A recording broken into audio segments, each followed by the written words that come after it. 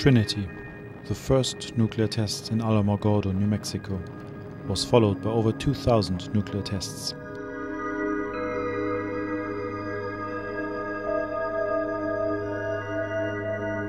For five decades, one nuclear explosion shook and often irradiated the Earth, in average every nine days.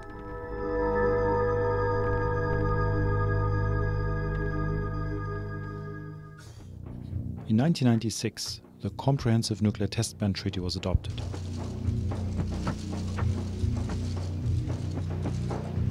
Shortly after, the treaty's organization in Vienna started its work. Although most countries in the world have joined the treaty, it still needs to be ratified by eight specific countries in order to enter into force. Nonetheless, nuclear testing has stopped almost everywhere. Almost. North Korea is the only country to have conducted nuclear tests in the 21st century. This is the story of how the Comprehensive Nuclear Test Ban Treaty Organization in Vienna detected the country's latest nuclear test in February 2013. On December 12, 2012, North Korea announced the launch of a rocket carrying a satellite. The launch was condemned by the United Nations Security Council as a covert ballistic missile test. In reaction, North Korea threatened to conduct a nuclear test. The Comprehensive Nuclear Test Ban Treaty Organization in Vienna was ready, as always. Well, we actually have four different technologies that we use to monitor the solid Earth, the oceans, and the atmosphere for any nuclear test. For the solid Earth, we use primarily a seismic network, which most everybody is familiar with as monitoring earth, earthquakes and so forth. We also have uh, hydroacoustic stations that we use to monitor the oceans, and we use infrasound stations to monitor the atmospheres for the actual blasts themselves. Before entry into force, it's very important for us to be able to demonstrate our capability, the fact that we can actually detect and locate and provide this information to our member states.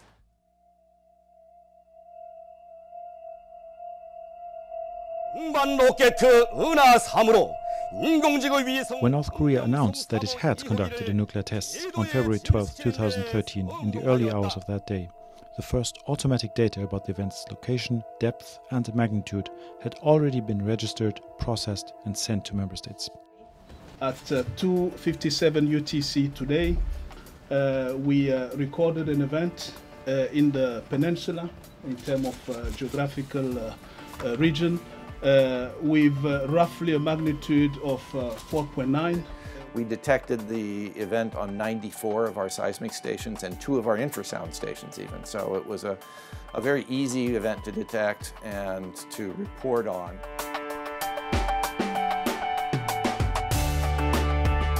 Uh, here is the data center for the CTBTO. Here is where the data from, the, from our monitoring stations all arrive here through the Global Communication Infrastructure Network. This data center was, uh, we started using here in 2005, uh, and it was is, uh, built in an underground uh, environment. So it's highly, highly secured. Uh, you cannot enter here without uh, an authorization. We have supercomputers for our atmospheric transport modeling system. These are machines that have uh, about, one of them has about 168 uh, cores. So they are fast processing machines. So as the data come into the, uh, the International Data Center, we process them first automatically and then we have an interactive review process where we have human analysts look at all of the information. So during the DPRK, of course this happened very early in the morning, it, it happened at uh, 3 a.m. our time, or actually 4 a.m. our time, and so we had to get the, uh, the people come in and do work because it was a, more of a heightened state of alert where we wanted to uh, make sure that we got this information out to our member states in time so that they could have it and then they could um, see what was going on in the world. One of the CTBT member states who received data and analysis from the CTBTO was Austria. Yeah, the event in DPRK uh, uh, was uh, rec recorded uh, in the in the CTBT um, system, And at the Austrian National Data Center, we have an uh, SMS uh, alert system uh, that sends us SMS every time uh, we get uh, interesting events from DPRK close to the known test location in this in this country. And so we received an SMS in about three o'clock in the middle of the night, and the phone was ringing.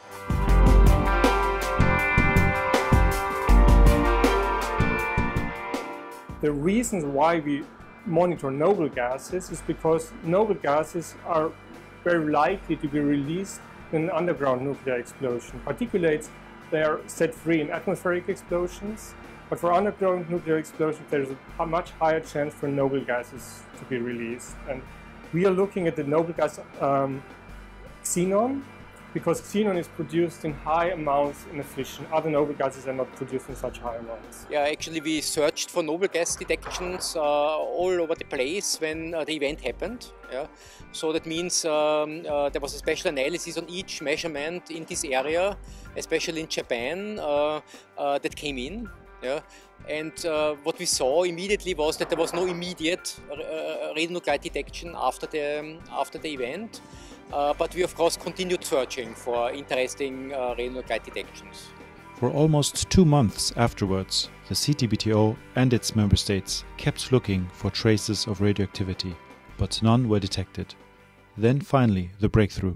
Some 55 days after that test, we detected actually noble gases at our stations in Takasaki, in, um, around 1,000 kilometers east of um, North Korea, and in our uh, other another noble gas monitoring system in Ussuriysk in Russia. Obviously, the release was delayed. This is not a surprise. This can often happen because the radioactivity is, uh, can be enclosed underground and it may take some time until it reaches the surface.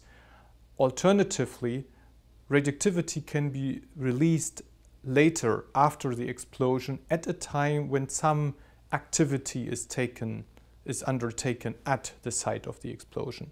Xenon sampling has to go through a fairly complicated and sophisticated air processing. So this here shows, for example, one of the insides of such a noble gas system. This is a column filled with activated charcoal, and xenon gets when well, the air is sucked through here, and xenon gets absorbed on the activated charcoal, while most of the other air components pass through. After this sampling, there are still um, impurities in the samples, and they have to be removed because we need a very pure sample at the end of our sampling process for the measurement. Yes, so this is the analysis tool that our analysts use to review a spectrum after it was automatically processed. Um, in this pane you see all the uh, counts of our detector uh, and actually there are two detectors measuring at the same time so we have gamma energies on this scale and we have beta energies on this scale. We don't make a determination about the nature of the event but um, I think this one was a fairly obvious and, and most nuclear explosions would be fairly obvious and easy for member states to make a determination. Yeah, so for, for us as uh, Austrian National Data Center, uh, the data from, from CTBTO uh, and also the analysis we receive is a very, very important part of our, of our daily work. Yeah? And it's also an important asset for the verification of this uh, test bench